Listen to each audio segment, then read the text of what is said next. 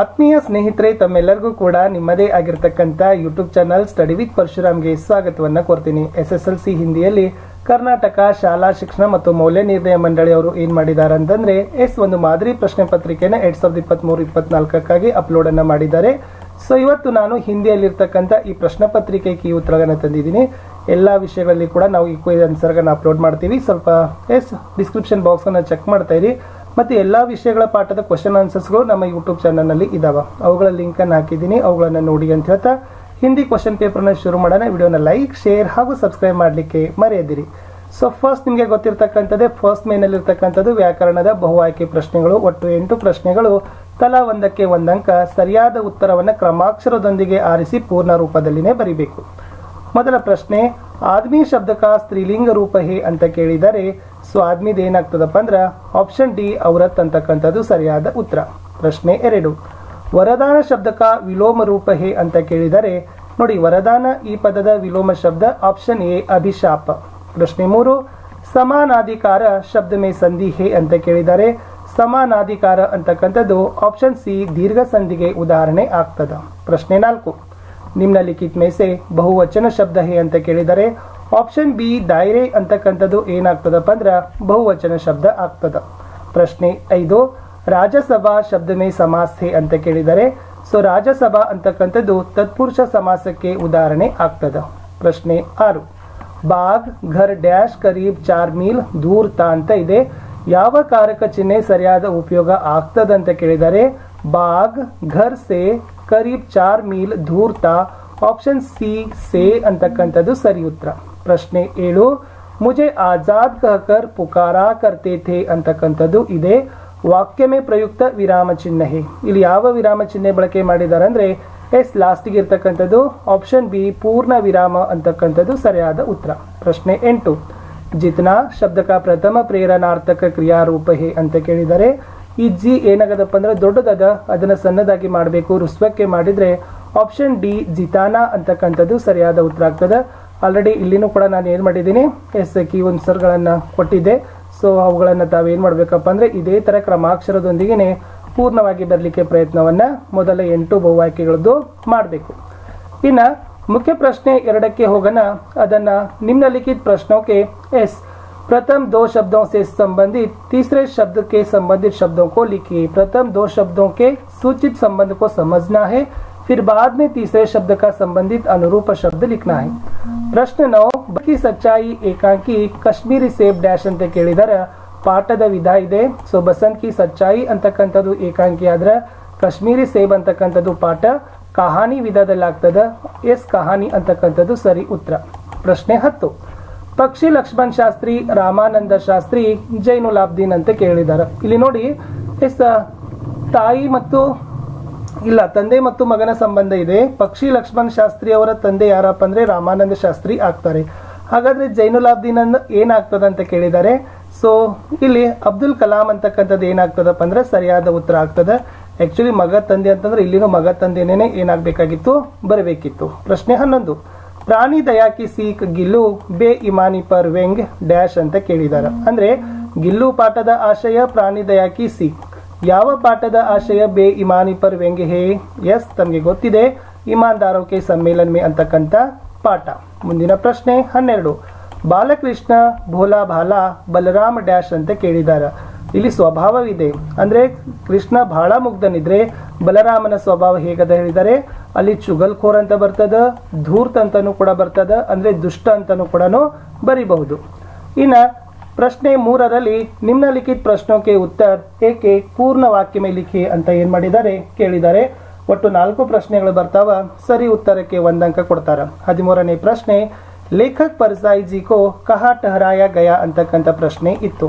ಉತ್ತರ ಲೇಖಕ್ ಪರ್ಸಾಯಿ ಜಿ ಕೋ hotel K ಕಮರೆ May ಟಹರಾಯ Gaya ಅಂತಕ್ಕಂಥ ಉತ್ತರ ಆಗ್ಬೇಕು ಪ್ರಶ್ನೆ ಹದಿನಾಲ್ಕು ದೋಸ್ತೋ ಕಿ ಮುಲಾಕಾತ್ ಸಬ್ಸೆ ಪಹಲೆ ಕಿಸ್ಸೆ ಹುಯಿ ಅಂತ ಕೇಳಿದ್ದಾರೆ ಗೆಳೆಯರು ಮೊಟ್ಟ ಮೊದಲಿಗೆ ಯಾರನ್ನ ಭೇಟಿ ಮಾಡಿದ್ರು ಸೊ ತಮಗೆ ಗೊತ್ತಿದೆ ಸೊ ದೋಸ್ತೋಂ ಕಿ ಮುಲಾಕಾತ್ ಸಬ್ಸೆ ಪಹಲೆ ಹಾತಿ ಸೇ ಹುಯಿ ಸೊ ಅವ್ರು ಏನ್ ಮಾಡ್ತಾರೆ ಮೊಟ್ಟ ಮೊದಲ ಆನೆಗೆ ಏನ್ ಮಾಡ್ತಾರೆ ಹೋಗಿ ಭೇಟಿ ಆಗ್ತಾರೆ ಹದಿನೈದನೇ ಪ್ರಶ್ನೆ ನರ್ ಕಿನ್ ಕಿನ್ಕೋ ಏಕ ಸಮಾನ್ ಲಾಂಗ್ ಸಕ್ತಾ ಹೇ ಅಂತ ಕೇಳಿದಾರ ಸೊ ಇಲ್ಲಿ ನರ್ ಸರಿತ ಗಿರುಯಿ ಸಿಂಧು ಕೋ ಏಕ ಸಮಾನ್ ಲಾಂಗ್ ಸಕ್ತಾ ಹೇ ಅಂತಕ್ಕಂಥದ್ದು ಉತ್ತರ ಇನ್ನ ಹದಿನಾರನೇ ಪ್ರಶ್ನೆ ಹಂಸ್ ಕಾ ಸ್ವಭಾವ ಕೈಸಾ ಹೋತಾ ಹೇ ಅಂತ ಕೇಳಿದ್ದಾರೆ ನೋಡಿ ಪಾನಿ ನಿಹಿತ दूध में से इस शुद्ध दूध का सेवन करना ಹಂಸ ಪಕ್ಷಿ ಕಾ ಸ್ವಭಾವ ಹೋತಾ ಹೇ ಅಥವಾ ಅದನ್ನ ಏನ್ ಮಾಡ್ಬೋದು ಅಂದ್ರೆ ಪಾನಿ ಮಿಶ್ರಿತ दूध में से ಶುದ್ಧ दूध का सेवन करना ಹಂಸ ಪಕ್ಷಿಕ ಸ್ವಭಾವ ಹೊತ್ತ ಹೈ ಅಂತಕ್ಕಂಥದ್ದು ಬರಿಬೇಕು. ಇಷ್ಟು ಒಂದಂಕದ ಪ್ರಶ್ನೆಗಳು ನಾಲ್ಕಿತ್ತು, ಅವುಗಳ ಉತ್ತರ ಆಗಬೇಕು. ಇನ್ನು ಮುಖ್ಯ ಪ್ರಶ್ನೆ ನಾಲ್ಕರಲ್ಲಿ ನಿಮ್ನಲಿಖಿತ ಪ್ರಶ್ನಕ್ಕೆ ಉತ್ತರ ದೋರ್ತಿನ ವಾಕ್ಯೋಮೆ ಲಿಖಿ ಅಂತ ಕೇಳಿದರೆ ಒಟ್ಟು ಎಂಟು ಪ್ರಶ್ನೆಗಳಿದಾವೆ. ತಲಾ ಒಂದಕ್ಕೆ ಎರಡು ಅಂಕ, ಒಟ್ಟಾರೆ ಹದಿನಾರು ಅಂಕ, ಹದಿನೇಳನೇ ಪ್ರಶ್ನೆ. ಪ್ರೇಮ್ಚಂದ್ ಅಪ್ನೆ ಅನುಭವ ಪ್ರಕಟ ಕರ್ತೆ ಹುಯೆ ಪಾಠಕೋ ಕೈಸೆ ಸಚೇತ್ ಕರ್ತೆ ಹೈ ಅಂತಕ್ಕಂಥದ್ದು ಇದೆ. ನೋಡಿ अगर खरीदारी करते समय सावधानी नहीं बरते तो धोखा खाने की संभावना होती है ಇದು ಪಾಠದ ಆಶಯದ ಮೇಲೆ ಈ ಸಂದೇಶ ಮೇಲಿರ್ತಕ್ಕಂಥ ಪ್ರಶ್ನೆ ಅಂದ್ರೆ ನಿಮಗೆ ಪಾಠಕಕ್ಕೆ ಓದುಗರಿಗೆ ಯಾವ ಎಚ್ಚರಿಕೆಗಳನ್ನ ಕೊಟ್ಟಿದ್ದಾರೆ ಅಂತಕ್ಕಂಥ ಪ್ರಶ್ನೆನೇ ಇತ್ತು ಸೊ ಸಿಂಪಲ್ ಆಗಿ ಬರಿಬಹುದು ಅಗರ್ ಖರೀದಾರಿ ಕರ್ತೆ ಸಮಯ ಸಾವಧಾನಿ ನಹಿ ಬರ್ತೆ ತೋ ಧೋಖಾ ಖಾನೆ ಕಿ ಸಂಭಾವನಾ ಹೋತಿ ಹೇ ಪ್ರಶ್ನೆ ಹದಿನೆಂಟು ಜೈನುಲ್ ಅಬ್ದೀನ್ ನಮಾಜ್ ಕೆ ಬಾರೆ ಮೇ ಕ್ಯಾ ಕಹತೆ ಥೇ ಅಂತಕ್ಕಂಥದ್ದು ಪ್ರಶ್ನೆ ಇದೆ ಉತ್ತರ ನೋಡಿ कलाम जी के पिता जैनुलाब्दीन आध्यात्मिक विषयों पर चर्चा करते थे वे नियमित रूप से नमाज पढ़ते थे नमाज पढ़ने से शरीर ब्रह्मांड का एक हिस्सा बन जाता है जिससे दौलत आयु जाति या धर्म या कोई भेदभाव नहीं होता यही उनके विचार थे ಅಂತಕ್ಕಂಥದ್ದು ಉತ್ತರದಲ್ಲಿ ಬರಿಬೇಕು ಹತ್ತೊಂಬತ್ತನೇ ಪ್ರಶ್ನೆ सांप ने दोस्तों को क्या सुझाव दिया उत्तर दोस्तों ने जब सांप को घर बनाने के बारे में कहा तब उसने कहा उसके जैसे पतली पतली लकड़ियां लंबी लंबी काट लो ಬಾಕಿ का बात वह नहीं जानता ಅಂತಕ್ಕಂಥದ್ದು ಪ್ರಶ್ನೆಯ ಉತ್ತರ ಆಗಬೇಕು ಇಪ್ಪತ್ತನೇ ಪ್ರಶ್ನೆ गांव को आदर्श गांव कैसे बनाया जा सकता है उत्तर ಇದೆ गांव को हरा भरा रखना चारों ओर पेड़ पौधे लगाना कूड़ा कचरा डालने के लिए एक निश्चित जगह बनाना ಅಂತಕ್ಕಂಥದ್ದು ಉತ್ತರ ಆಗಬೇಕು प्रश्न 21 वैज्ञानिक युग में दिनकर जी मानव का विश्लेषण कैसे करते हैं? उत्तर नोड़िए। इस इस पद्य भाग में वैज्ञानिक युग और आधुनिक मानव का विश्लेषण हुआ है। कवि दिनकर जी इस कविता द्वारा यह संदेश देना चाहते कि आज के मानव ने प्रकृति के हर तत्व पर विजय प्राप्त कर ली है। परंतु कैसी विडंबना है?